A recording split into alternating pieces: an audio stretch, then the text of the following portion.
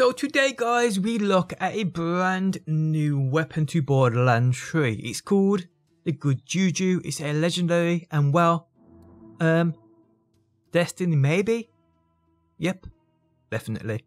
How's it going guys? My name is DPJ and today I bring you another Borderlands 3 video. If you guys do enjoy it, leaving a like really helps me out and subscribe if you want to see more. On screen now you can see my weekly giveaway along with last week's winner. To be in with a chance of winning this yourself, follow the instructions on screen now and good luck. So the good Juju. To be honest guys, every time I say that it makes me laugh inside. Coming from Destiny 2 to Borderlands also, this is just the best. Okay, so the good Juju. This new legendary arrived in-game with the takedown at Maliwan's Black Site 3 event update. And well, I actually love this thing. So looking at the weapon itself, it's a 3 burst full auto assault rifle. Mine offering cryo damage which at this point from what I've researched is the main element this comes with, but I could be wrong actually, I hope I'm wrong. My variant, and these will slightly differ guys, but my version deals 919 damage with an 81% accuracy, 75% handling, 2.5 second reload time, and a 15.59 fire rate, and a magazine size of 45, which is quite good. I've seen them a lot lower than this. With a 113 plus weapon damage, with a minus 50% critical hit damage, a plus 19 reload speed with two different sights which you can switch between, one a 2.9 times and the other a 4 times zoom.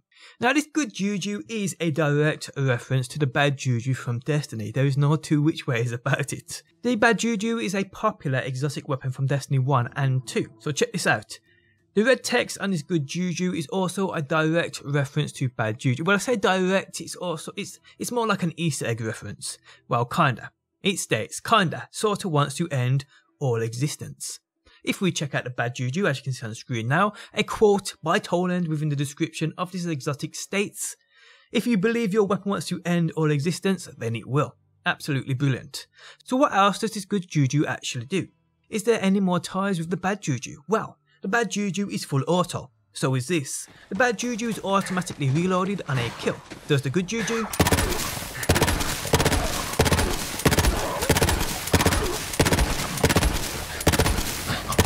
You couldn't hit a cow's arse with As you can see, yes it does. The bad juju gets more powerful per kill. Does this? Well upon my first testing there is definitely a damage buff coming from somewhere, but I ain't actually sure upon further testing if it's activated on a kill. The bad juju gives you super energy back on each kill. As far as my testing went, this didn't do anything of that sort. So this does have a few ties of the bad juju, a few of its traits, but not them all. Either way guys, this assault rifle or pulse rifle if you've ever played Destiny is actually a very good weapon indeed.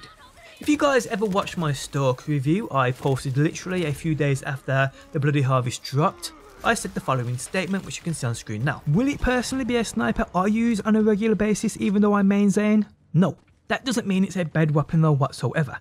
My honest opinion is, what it's good for and what it should be used for, it's a great sniper. But it doesn't have the ammo to support, really, what it's made for. I mean, it runs out of ammo way too quick. Yes, it freezes shit, but there are many weapons in the game that are more suited for what this weapon is supposed to be. And this weapon, this good juju, is the perfect example of what I mean here. The thing is an amazing cryo weapon, it has a massive magazine size, with a massive reserve. It automatically reloads on kill, deals great damage, and it's called the good juju. I mean, what more do you want? So how is this obtained? Well, I know for sure it drops from a few different bosses upon researching this weapon. To name a few, the Rampager within the Forgotten Basilica upon Promethea, Graveward and also Wotan. All reports I've seen of this dropping though are on Mayhem 4. So I'm guessing this is a world boss drop on Mayhem 4. If you guys have had it on any other Mayhem mode, be sure to leave a comment down below so others can see it. Also massive shout out to my pal Trolling Donkey for sending me this good juju for review. But yeah guys, the good juju, a new assault rifle to the game arrived with the takedown at Maliwan Black Site, is it seems a world boss drop on Mayhem 4.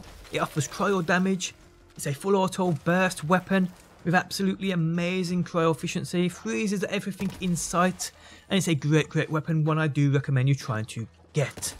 If I learn anything more about this weapon, I'll be sure to bring you an update video, so stay tuned for that. But on that note, we have come to the end. If you guys enjoyed it, leaving a like really helps out. If you're new around here and want to see more Borderlands videos, be sure to subscribe. And if you never want to miss a video I upload, you can turn notifications on by hitting that bell button. But guys, thanks as always for stopping by. Hopefully you enjoyed the video and hopefully I will see you on that next one.